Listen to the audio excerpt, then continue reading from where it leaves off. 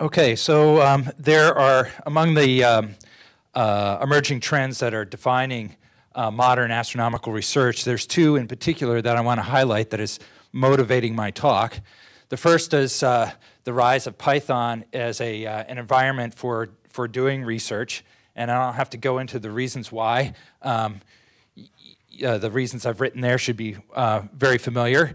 Um, but I might also say as part of this is that this blurring of the line between developers and users uh, is enabled by the flexibility that is um, eh, provided by, by Python. So it's a very powerful tool for modern research. The other uh, uh, trend is the um, availability of online data archives. And uh, this is uh, defining in a lot of ways the kind of research that we do. Um, much of the research that people do today is inherently multi-wavelength, multi-waveband.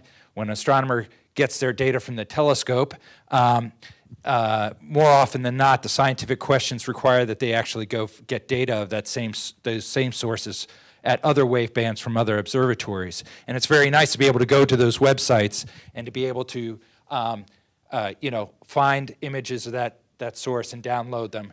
And uh, and more and more those archives are providing programmatic interfaces so that people can um, you know, connect with a uh, specialized client application or maybe a, uh, a, script, which is where Python comes in. And so um, if you are doing this kind of multi-waveband um, uh, research and you need to get data from uh, different observatories, you might recall the insight provided by that seminal astronomer and philosopher Donald Rumsfeld, who uh, talked about the, um, the data that, that we know about, that is our favorite data surveys and, and uh, uh, archives like uh, Sloan and CDS and 2MASS. And then there's the data that you, you don't know about that um, maybe is related to your research. And, uh, and you would like to, be, to get a very complete picture of what data is available um, and maybe um, access uh, some um, data that you take advantage of data you may not um, be aware of. So um, there's a certain phenomenon uh, that is perhaps uh, fairly familiar now, known as the virtual observatory. Before I get into this, maybe I might ask uh, for a raise of raising of hands for of people who are actually working in astronomy in some way, either as a developer or a, a researcher. Okay most people. And so, um, um, and how many people have heard these two words uh, used together in a sentence? Um, virtual observatory. Okay, great. So I won't dwell on it. Um, but the idea is that it's an environment for conducting astronomical research on the network, and it's meant to take advantage of all those online archives and the wealth of data that they provide from all around the world. And, and this access is powered by uh, a set of open standards um, and these standards have uh, been uh, developed uh, through this um, alliance of uh, projects from around the world known as the International Virtual Observatory Alliance. And it gives applications and clients common ways of interacting with these archives. And uh, a lot of uh, what it enables, um, but not exclusively, and, and also what I'm going to mostly focus on, is searching and retrieving data.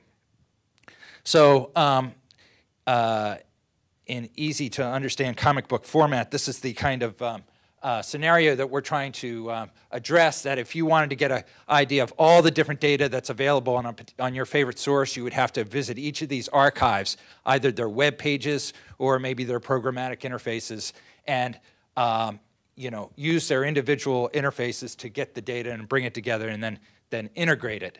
And so um, what the VO is trying to do is to provide a common way of talking to all these different archives and, and in, in an environment that's easy to integrate that data through uh, these standards. Now, that isn't to say that there isn't value in these custom interfaces that the, these different archives provide, um, uh, but there is certain kinds of science or certain kinds of uh, uh discovery that you can't do easily um, with these uh, heterogeneous interfaces, especially this question of what exists about my source, uh, what, you know, uh, comprehensively speaking. so the standards that the Virtual Observatory um, it's developed is to, to kind of enable new kinds of, uh, of science and discovery. Um, so a lot of what, what those standards uh, uh, deal with is the discovery of the, the archives themselves and what services are out there that might help you. And this is handled through something called a registry. Um, and then once you have found these archives that might have data that you want, you can search those things and then download the data sets. Or they might have catalogs of different varieties, and you can query those catalogs in simple or complex ways. Um, we have data set exchange formats, the uh, VO table, you've heard uh, one of those. Um, there's access to remote storage. Another very interesting one uh, that people might be interested in this room is, is called SAMP. It's about getting applications to talk to each other, whether they're on the desktop or in uh, your web browser. But basically, you, if you find, if you have data in one thing, you can tell another application to load it or to do something with it. So it's a little messaging um, protocol. So the VAO, which is the project that I work with, is a NASA NSF funded project to basically do VO um, in support of US astronomers. Um, and it's one of many projects that are so funded around the world. And uh, we collaborate with those other those other projects. So the idea is to, to basically build and maintain a, a basic infrastructure that allows this kind of discovery and interoperability. And then we collaborate with these other projects to develop new standards as needed, um, but uh, also to enable and promote development and use of these capabilities. And that can be in the way of end user applications um, that either run in the browser or on the desktop. Um, but, and we also support people that have data or want to put up services to help them do that in a compliant way. And we also want to enable just generally other developers to, to take advantage of these capabilities, integrate them into their tools and uh, libraries and such.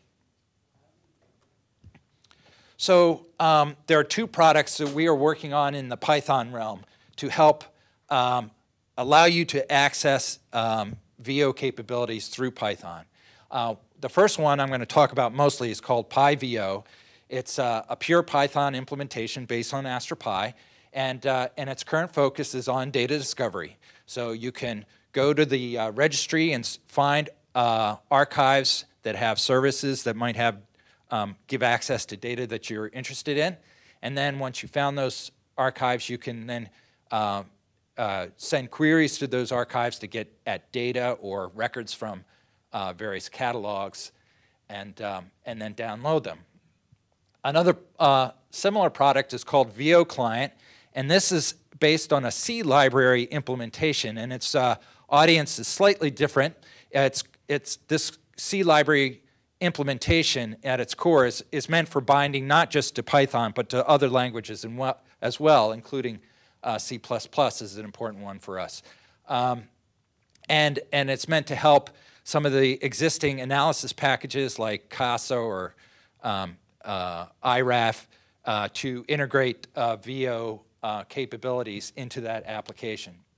Uh, so, but Python is one, one uh, of those languages we're going to bind to with this product. And, and it shares a common API with PyVO, uh, but it also goes beyond what we're doing in PyVO to, to produce higher level interfaces that uh, make it easier to do more complicated things. Say if you want to collect data from many archives and download it in a script, you want to be able to manage the data, do things asynchronously, you know, manage cache and such like that, and then maybe communicate with other applications uh, what, with that data.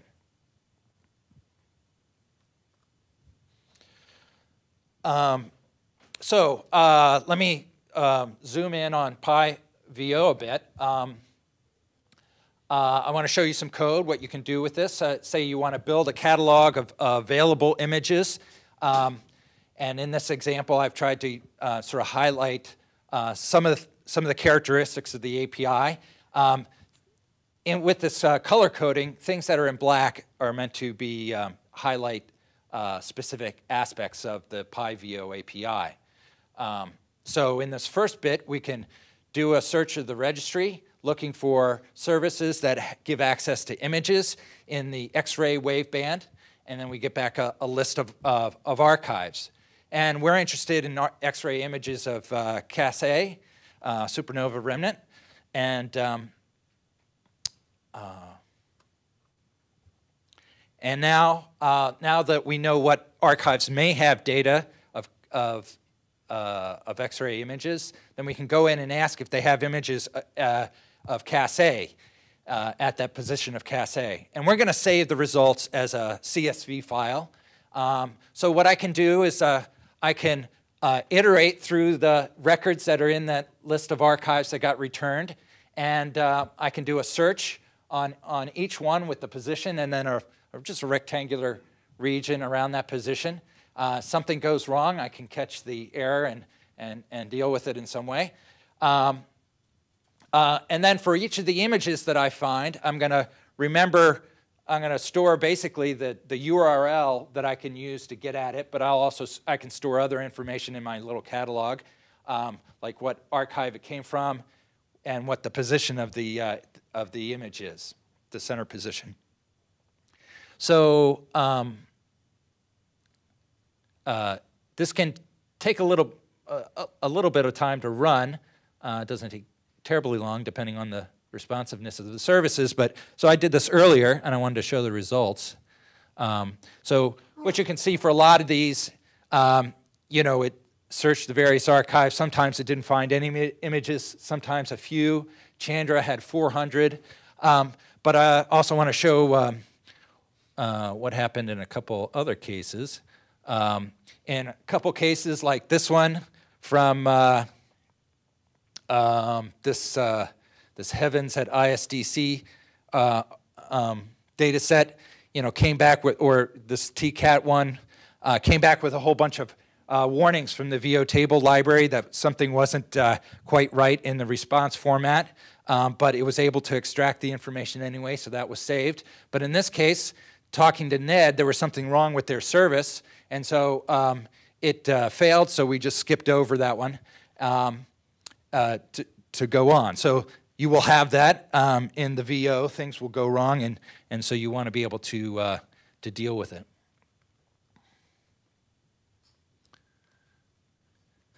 So, um,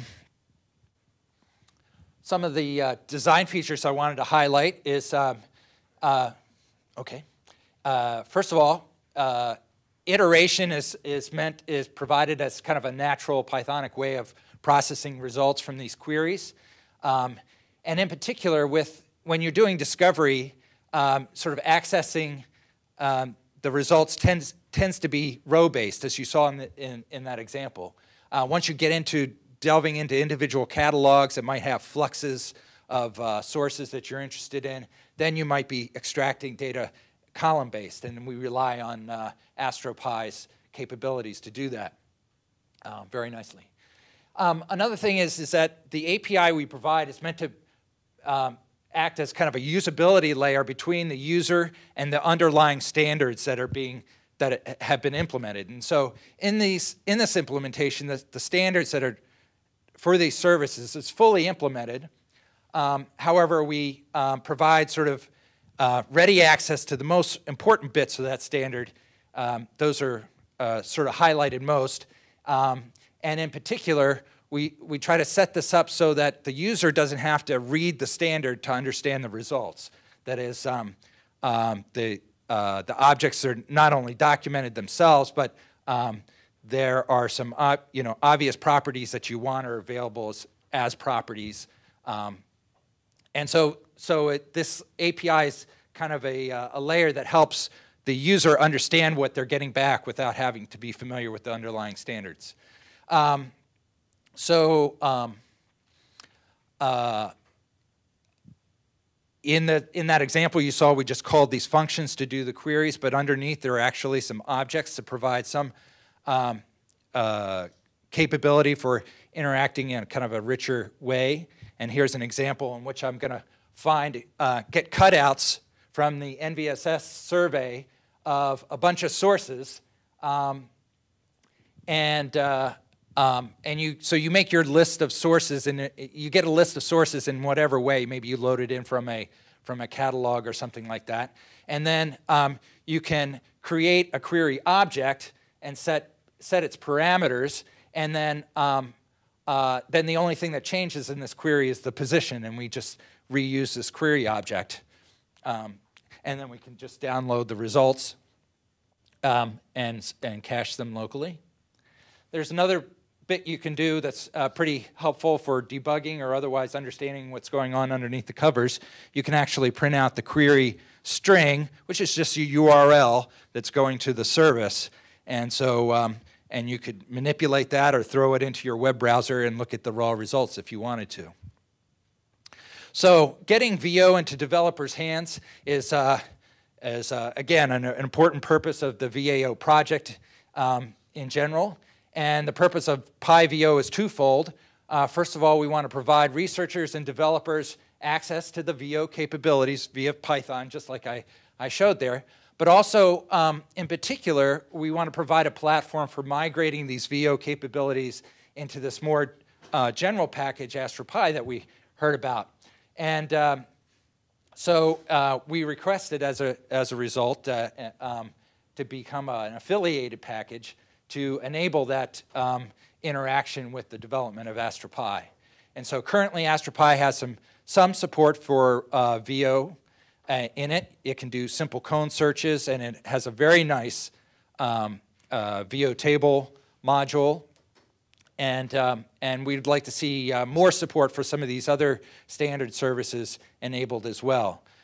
Um, so there's also another affiliated packages that's um, sort of overlaps with this space, and that's AstroQuery that um, has uh, so far mainly concentrated on sort of the custom interfaces of these various um, archives, uh, but at the client side tries to regularize or, or standardize the interface.